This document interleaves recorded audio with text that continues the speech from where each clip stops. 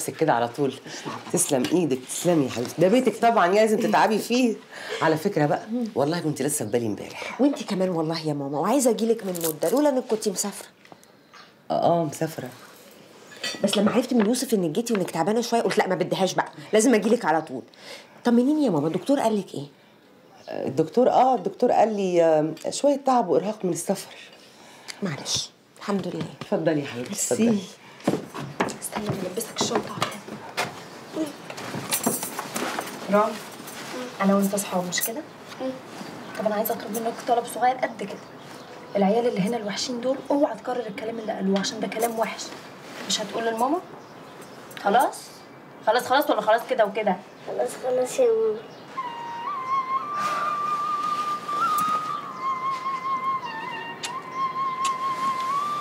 يلا.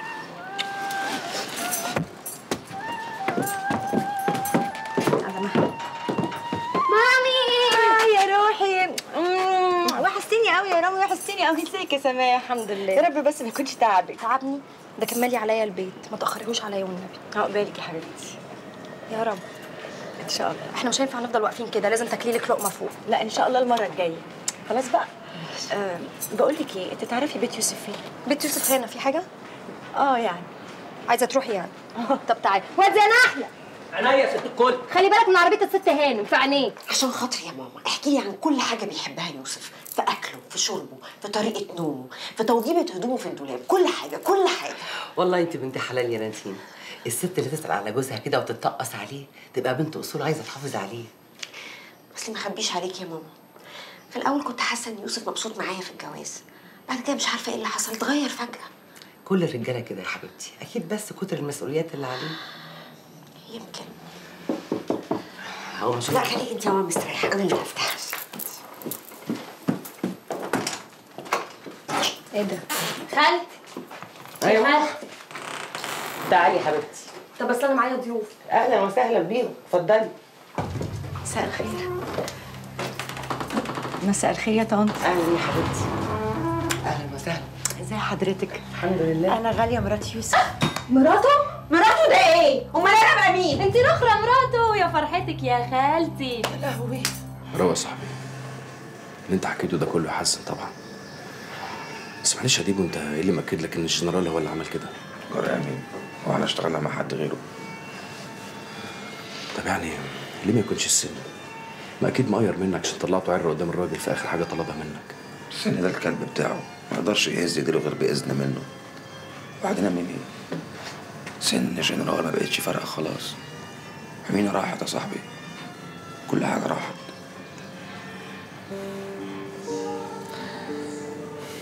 كل حاجة في الدنيا اتمنيتها حصلت لي. بس زي الطير. نحطه قدامك ويركز ويطمن لك. وفجأة طلع في الهوا تلاقيه طار. طار يا صاحبي. مفيش حاجة طارت. بس انت حاول تاني واسمع الكلام. يا ميمي هحاول تاني واجرب. بس هحاول في إيه؟ في الفلوس ولا في السفر ولا في أمينة ولا في إيه بالظبط؟ اعمل حاجة. ما تعملش زي سماح. ما تقفلش الباب عليك وتيأس. سماح فاكر لما بتعمل كده إن هي تحزن نفسها بالعافية. بتعمل كده عشان تصعب ان يا ديب لو أنا اللي اتكلمت هصعب على الدنيا كلها.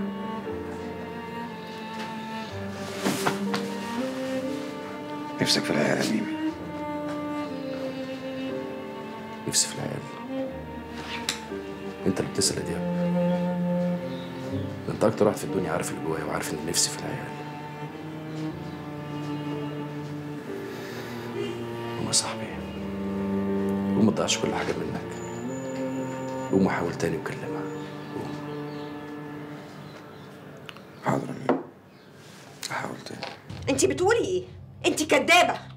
على فكرة أنا مش فاهمة حاجة من اللي انت بتقوليه ده. وليه ما تكونيش انت الكدابة؟ عشان أنا متأكدة إن يوسف مستحيل يعرف واحدة عليا.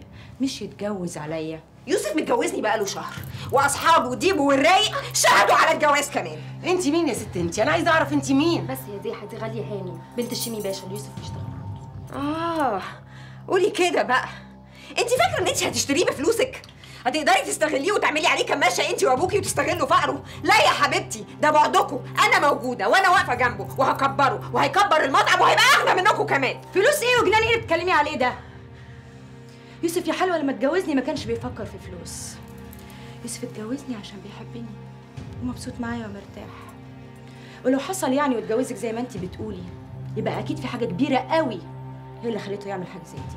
لعلمك بقى مفيش حد ادى ليوسف اللي أنا اديته له. ولعلمك بقى استحالة يسيبني ويروح يتجوز واحدة تانية. وعلى فكرة بقى أنا مش مصدقاكي خالص. هي دي الحقيقة. صدقيها وعيشيها. ورغم إن أنا مش مصدقة ولا كلمة اللي أنت بتقوليها دي لكن برضه لو دي الحقيقة أنا بطلب منك حاجة واحدة بس. ابعدي عنه سيبيه. خليه هو يختار وخليه هو اللي يفكر. عارفة ليه؟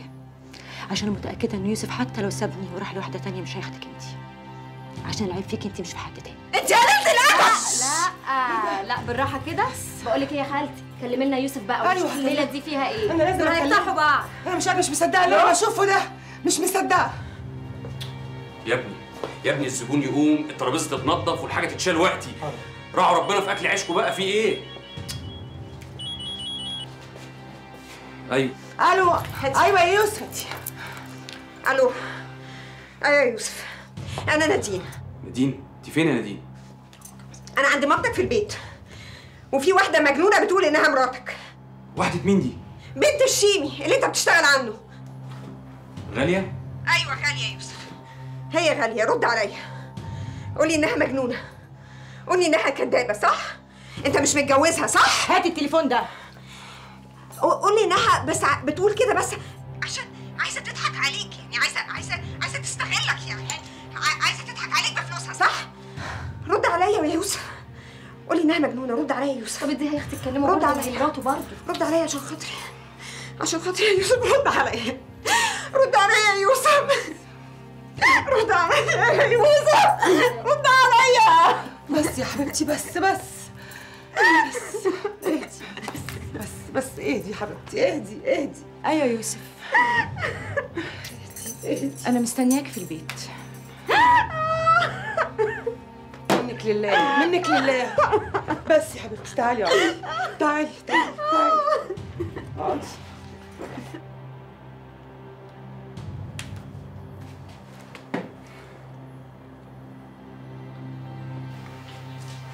بس هي سعادتك برضه يعني ما كانتش المفروض إنها تنشر. إنما هنعمل إيه؟ هي اللي جابته لنفسها. عارف سعادتك إحنا لما رحنا رئيس التحرير اللي كانت شغالة معاه اكتشفنا إن الراجل كان رافض النشر من الأساس مش عايز يجيب لنفسه مشاكل وده السبب اللي خلاها تسيب الجورنال مع ان أسلوبها جذاب والموضوع لطيف. يستاهل النشر. يعني سعادتك نلغي ولا؟ هل الموضوع يستاهل التضحية؟ في عمل في الدنيا يستاهل إن الإنسان يضحي بنفسه عشانه. يمكن لو كان الموضوع ده اتنشر وتعمل له البروباجندا المناسبة